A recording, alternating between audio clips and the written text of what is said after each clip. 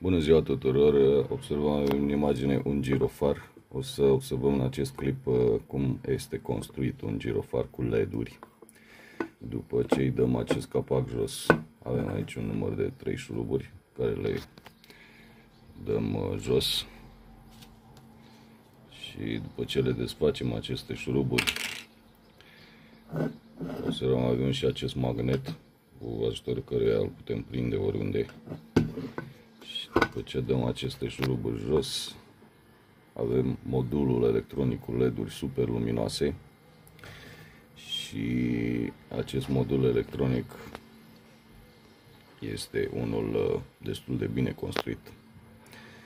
Observăm pe aparatul de măsură, pe ecranul aparatului de măsură, frecvența detectată cu acest uh, aparat de măsură cu autoscalare, observăm, avem o frecvență de în jurul valorii de 2 sau 3 Hz, chiar 4 Hz, observăm.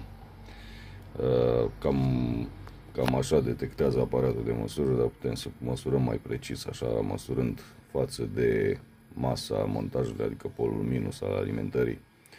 Putem măsura la ieșirea acestor LED-uri, uh, practic intrarea de alimentare a acestor LED-uri și ieșirea circuitului integrat sau a tranzistorului care alimentează acest LED, în acest caz acest tranzistor de aici.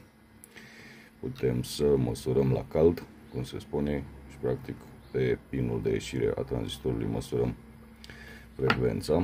O să comutăm aparatul de măsură pe voltmetru de curent continuu și îl introducem aici în mufa de alimentare ca să observăm și tensiunea în cleștele de la mufa de alimentare ca să observăm tensiunea de alimentare. Observăm că avem o tensiune de alimentare de 12,26 de volți și ideal ar fi, nu așa, ca să observăm și de la ce tensiune de alimentare pornește acest montaj electronic înainte de a-l studia în detaliu Uh, sau în principiu, mai bine spus. Deci, practic, uh, să vedem cu ce componente este construit. Observăm că LED-urile se aprind de la o luminositate foarte mică, în jurul valorii de 8,5 volți. Așa, deci este un girofar de 12 volți, strict. Haideți să dăm exact la 12 volți. Așa reglăm din uh, sursa de alimentare. Exact 12 V și observăm totodată și curentul absorbit. Observăm avem în jur de 140 de miliamperi asta însemnând transformat matematic 0,15 amperi. 0,15 amperi înmulțit cu tensiunea de alimentare cu aproximativ 12 volți. Produsul dintre tensiune și curent, după cum știm, formula simplă de calcul, ne dă undeva o valoare de um, 1,6-1,7 W, maxim 2 W.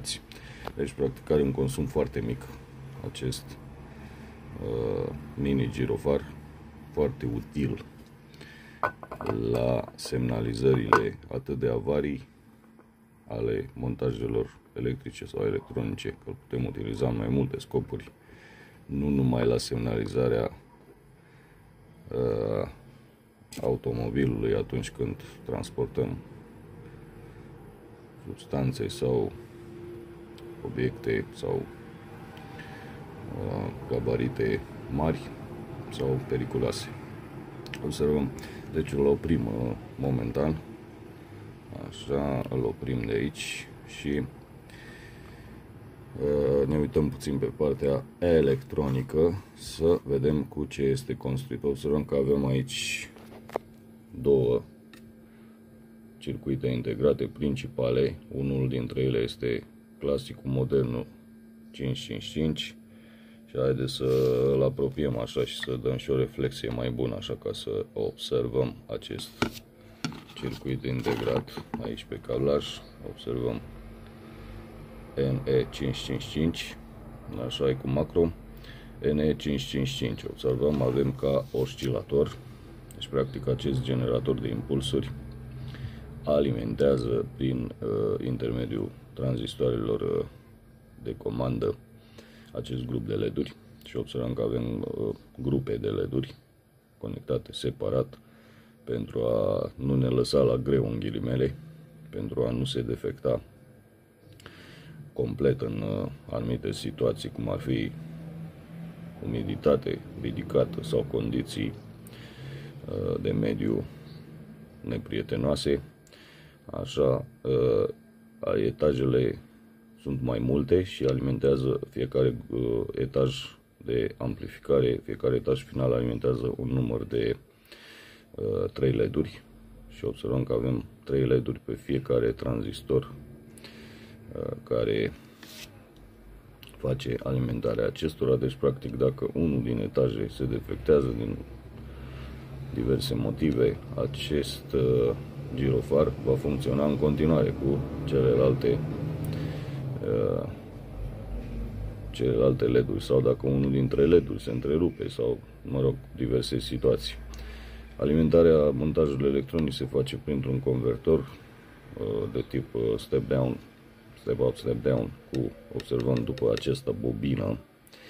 Și mai avem acest BCP 51 uh, acest uh, tranzistor, bineînțeles avem diode de protecție, una este pe alimentare, una pe uh, acest convertor, avem o diodă Schottky aici și evident nu poate lipsi MC34063 care face parte tot din circuitul de alimentare. Bineînțeles, stabilitatea tensiunii de alimentare se realizează cu acest condensator electrolitic, cu aceste două condensatoare electrolitice de 100 de microfarazi la 16 volți, plus componente aferente. Deci mai avem aici tot pentru stabilitatea tensiunii de alimentare un stabilizator cu care și haideți să dăm aici mai aproape, să vedem și ce, și ce stabilizator.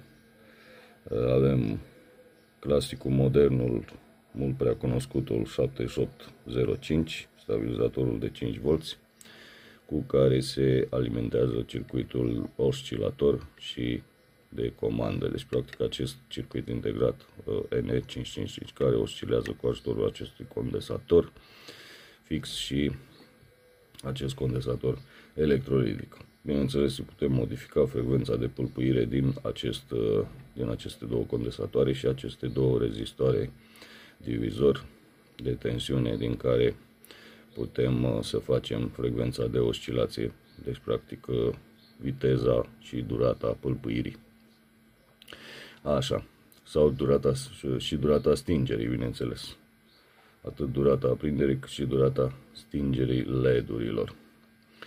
Uh, este un montaj electronic destul de simplu, care poate fi, este atât de simplu încât poate fi chiar scos de pe cablaj și uh, imprimat undeva sau desenat pe o foaie și reprodus în cazul în care vrem să ne construim unul mai puternic sau să construim uh, un montaj mai complex sau mai inteligent sau mai puternic sau mai util sau adaptat în anumite situații în care ne trebuie uh, adaptabil diferit sau uh, cu o estetică sau cu un design uh, aparte. Sper că a fost destul de util acest material video. Ne întâlnim în episoadele următoare cu lucruri cel puțin la fel de interesante și utile.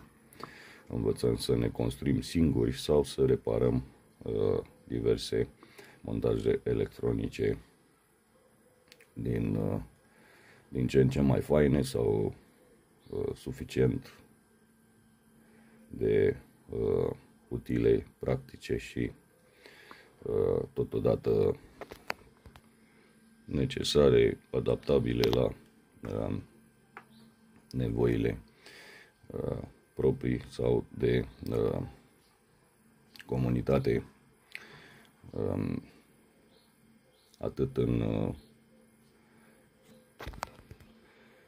comunitățile de studiu, cât și în comunitățile mai mari, acolo unde putem dezvolta diverse aparate, sisteme, dispozitive, uh, unelte, uh, scule sau aparate uh, de măsură sau uh, diverse aplicații practice care ne interesează. Vă doresc o zi faină în continuare și spor la toate proiectele noastre pe care doriți să le realizați. Până data viitoare, vă doresc o zi frumoasă și spor în tot ce vreți să realizați o zi bună, numai bine.